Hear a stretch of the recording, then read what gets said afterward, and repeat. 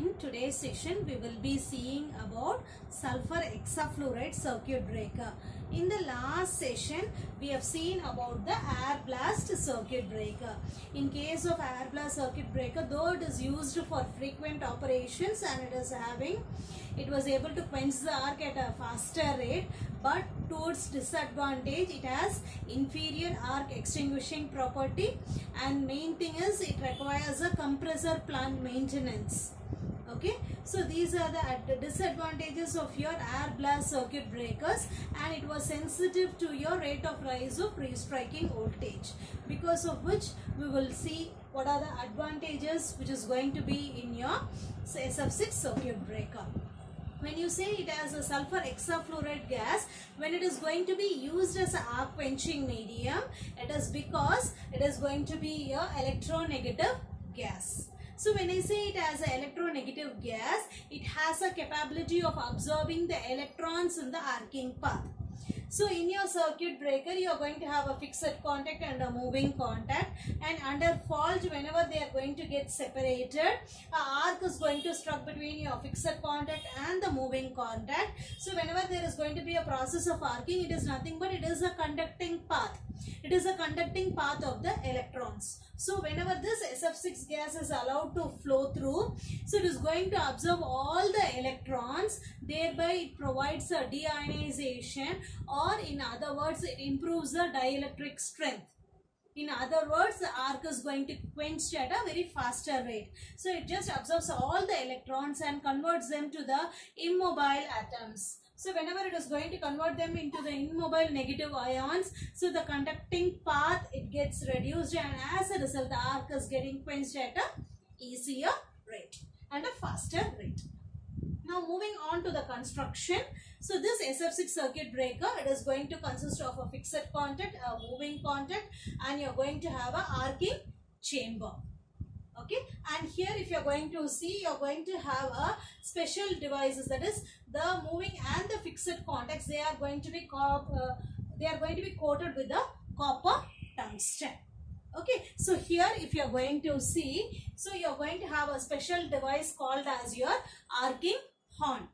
Okay? So this is just to split your arcs and thereby extinguish the arc at a faster rate okay so here the special two features. One is your arcing horn. Another is the fixed and the moving contacts and the arcing arc they are going to be coated with a copper tungsten so that it avoids the easier burning of your fixed and the moving contacts whenever a fault is struck. Now what is the reason for going in for your SF6 when you say it as SF6 it is going to have the short arcing time and it is going to provide a noiseless operation because everything is going to be uh, neatly sealed. So whenever it is going to be neatly sealed and it, you can go in for your what is moisture free operation. Okay? And the risk of the fire is also getting eliminated. So which leads to a lesser maintenance cost. Okay? So here if you are going to see the dielectric strength is twice or thrice that of the air. So the arc interruption you can do the arc interruption for the higher fault currents.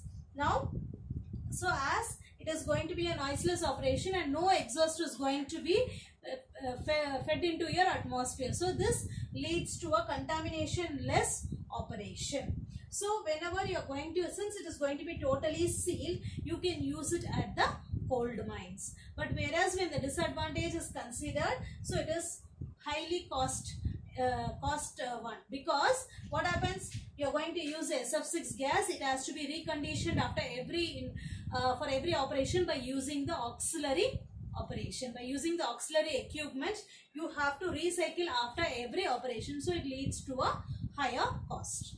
Now moving on towards operation. So you're going to have a moving contact a fixing contact a arcing uh, a arcing horn. So for splitting your arcs now your whenever the fault occurs this SF6 gas is going to be let into your arcing chamber. So whenever it is going to be let into your arcing chamber what happens? So this moving contact is going to be provided. This is going to be associated with your valve mechanism. So whenever under a fault whenever this moving contact is going to be moved apart so this moving contact is going to be synchronized with the amount of the gas inlet. So whenever the contact is going to be pulled in pulled apart under the faultier condition the gas is going to be let inside. This is going to be electronegative gas. It is going to absorb all the uh, uh, ions which is present and it is going to convert into your immobile ions. As a result it is going to help in building up the dielectric strength at a faster uh, faster time. Or in other words it is going to quench the arc at a earliest time. Okay so now whenever you are going to see for every operation under normal condition it is you are going to have the pressure in terms of 2.8 kilogram per centimeter square okay so but whenever I am going to do the operation, whenever the faulty condition under that, so the pressure is going to be leveled at a very high pressure of 14 kilogram per centimeter square. So in order to quench the arc as soon as possible. So thus this proves to be a efficient circuit breaker which is used for interrupting a current rating of 60 kiloamps and a voltage rating up to 80 kilovolts and you can use it for 150 to 230 kV whereas your air, uh, air blast circuit breaker it was able to use for your 110 kV okay and with a power rating of 10 to 20 MVA. Here the interrupting time is found to be less than 3 cycles. So with this I wind up today's session. In the next session we will be seeing about the vacuum circuit breaker. Thank you.